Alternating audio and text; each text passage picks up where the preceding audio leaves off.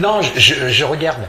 Parce que en, en même temps, je me disais, hein, naïvement, bêtement même, on est sur une planète constituée essentiellement de flotte et on subit des super sécheresses.